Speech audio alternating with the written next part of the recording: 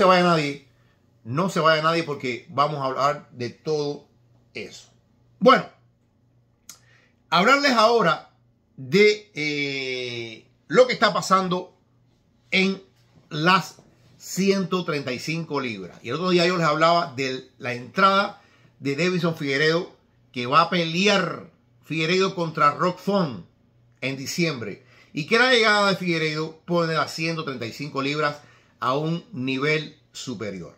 ¿Verdad? A un nivel muy, muy superior.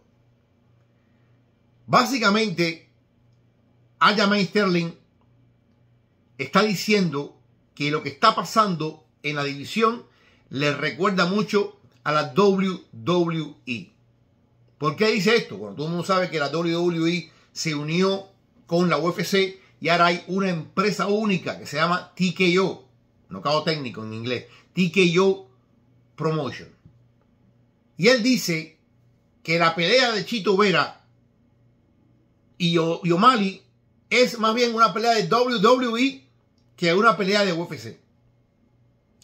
Porque Sean O'Malley no tiene mérito alguno para decir yo quiero a Chito Vera. Porque Sean O'Malley es un campeón reciente y no debiera tener el poder como pudiera tener, digamos, Volkanovski a elegir lo que él quiere.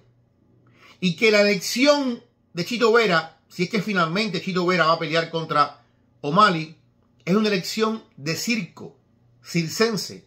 Porque ¿cómo es posible que el número 6, Chito Vera, vaya a enfrentar al campeón? Que esto es una cosa que no tiene sentido. Que esto es una cosa que básicamente no debiera ocurrir. Pero que él está viendo venir. Que si alguien merece realmente pelear por el título, no dice él que es él, es Merat Barishvili.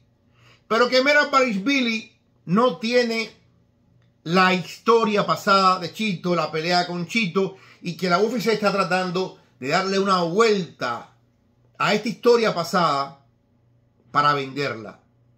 Y cuando dice esto, él dice que UFC es como la WWE. Esto no es nuevo. Se venden historias.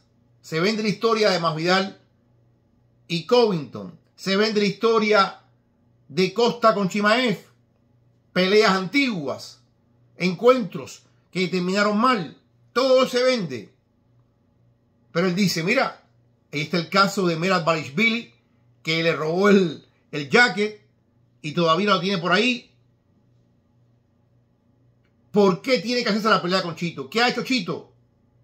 Una victoria, dice eh, eh, Sterling, una victoria pálida sobre Pedro Muñoz.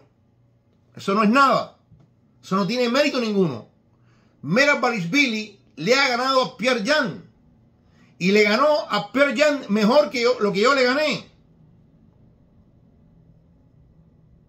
Nos están acusando de taponar la división. Pero eso no es cierto. Pelea con él.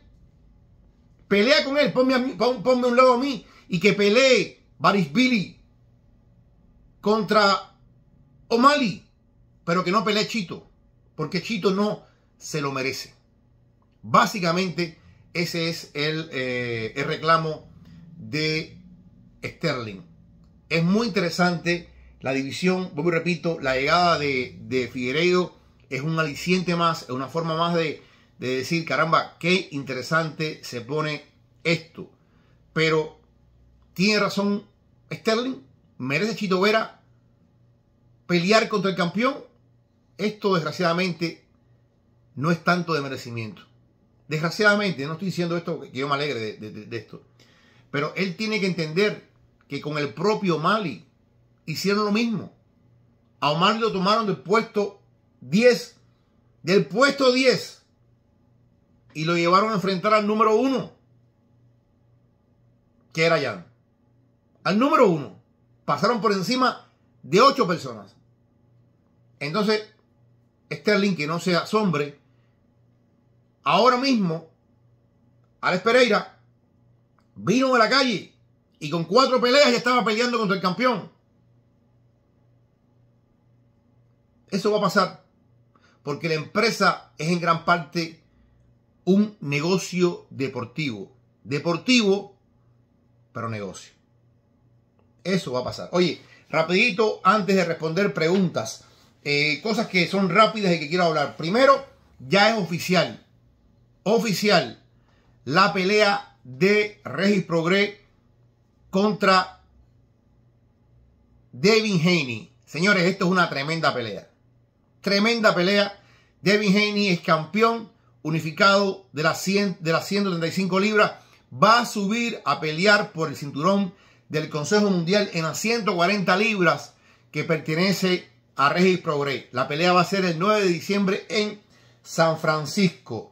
Así que eh, no te lo puedes perder. Eh, por otra parte, hoy comienza la semana del Canelo Álvarez. Hoy eh, tienen que haber llegado a Las Vegas, tiene que haber ocurrido una fanfarria enorme por allá.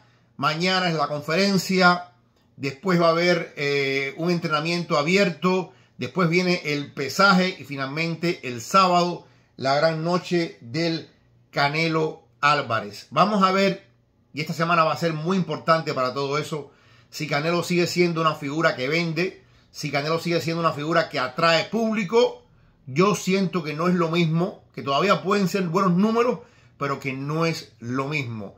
Eh, pero a lo mejor todo cambia, porque así es Las Vegas. Una ciudad que te eleva o te hunde.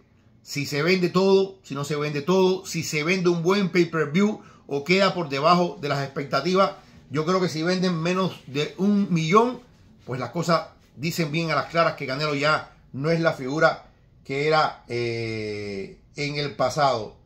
A ver que tengo algo más por ahí. Mm, mm, mm, pues nada, eso es lo que está pasando en el mundo de los deportes de combate.